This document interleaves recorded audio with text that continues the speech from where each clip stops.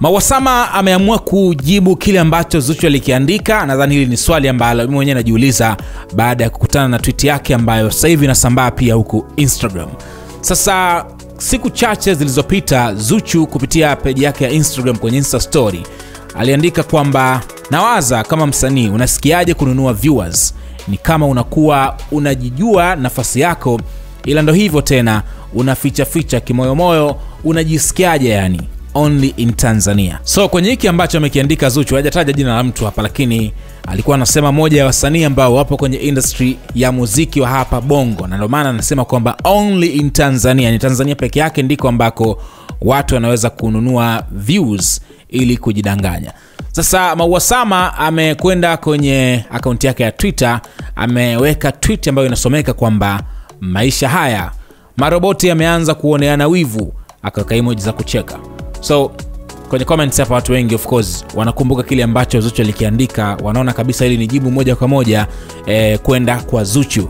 Anachokimaanisha Mauasama ni kwamba Zuchu naye ni mnunua views, so sasa hivi anawaonea wivu wengine ambao wananunua views kwa hiki ambacho ametweet Mauasama. Kama ni kweli amejibu yale ya Zuchu, basi tafsiri ya tweet yake ndo hivyo kwamba Zuchu naye ni mtu wa kununua views, na sasa hivi amefika point anawaonea wivu wenzake ambao wanafanya kama yeye kwa maana ya kununua views.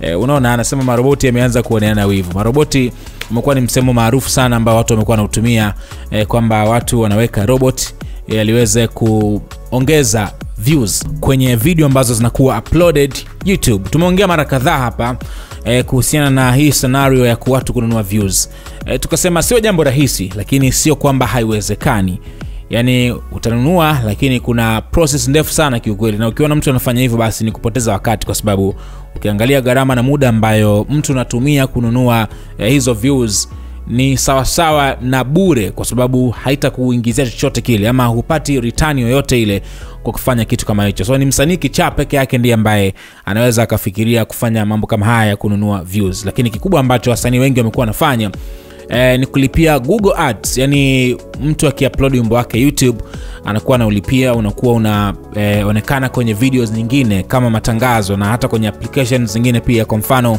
eh, ukifungua labda app yoyote ile unakutana na eh, tangazo pale ambalo linakuja eh, na wimbo yani wimbo unakuja kama tangazo so ni vitu ambavyo watu wamekuwa wanavifanya eh, kujaribu kupeleka wimbo kapata views na vitu vingine lakini ishu ya kununua views kiukweli is tricky na ni msanii mwehu peke yake anaweza akafikiria kufanya vitu kama hivyo. Anyway una mtazamo gani? Hapo kwenye sehemu ya comments and then subscribe hapa SnS kwa taarifa nyingine kila wakati